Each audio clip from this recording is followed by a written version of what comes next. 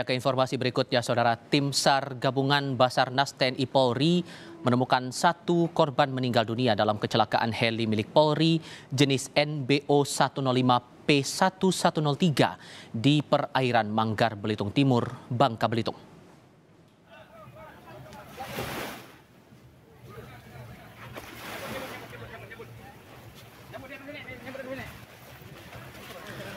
Jenazah korban meninggal dunia heli Polri yang ditemukan tim SAR gabungan langsung dievakuasi melalui pantai Burung Mandi menuju rumah sakit daerah Belitung Timur.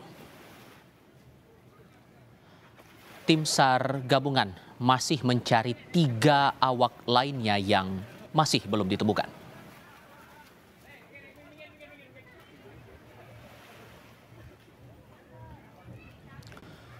Selain satu korban meninggal yang ditemukan, tim SAR gabungan juga menemukan sejumlah barang yang diduga milik heli Polri yang jatuh di perairan Manggar Belitung Timur, Bangka Belitung.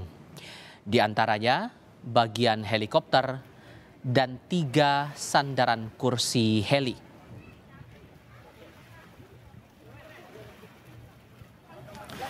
Mabes Polri memastikan satu anggota Polri yang menjadi korban jatuhnya helikopter Pol Airut telah ditemukan.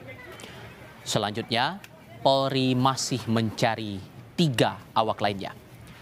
Mabes Polri menyebutkan pihaknya telah menemukan satu anggota Polri yang menjadi korban.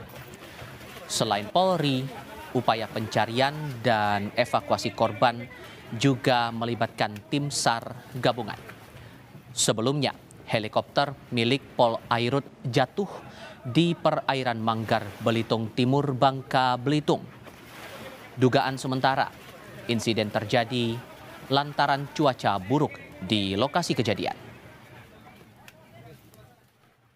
Kami laporkan tim telah menemukan satu jenazah yang diduga adalah salah satu kru dari helikopter tersebut.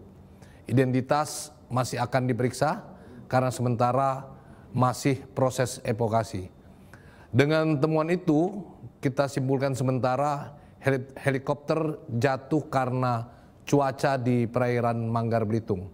Saat ini, tim SAR dari Direktorat Pol Airut juga dibantu Basarnas, TNI AU dan dari Polda Bangka Belitung telah melakukan operasi pencarian. Diketahui heli milik Polri berjenis BO105 P1103 berisi empat kru polisi. Satu korban atas nama Bribda Khairul Anam sebagai teknisi ditemukan meninggal dunia oleh tim gabungan. Sementara tiga lainnya masih dicari, yakni AKP Arif Rahman Saleh selaku pilot, Bribtu Muhammad Lasminto selaku kopilot, dan Aibda Jokomudo selaku teknisi. Sebelumnya, heli milik Polri berjenis NBU 105 nomor registrasi P1103 awalnya terbang dalam rangka melaksanakan kegiatan Ferry Light hari Minggu 27 November 2022. Heli bertolak dari Pangkalan Bun Palangkaraya ke Tanjung Pandan. Namun pada pukul 13.45 waktu Indonesia Barat, heli dinyatakan hilang kontak. Heli diduga jatuh karena faktor cuaca di sekitar perairan Manggar Belitung.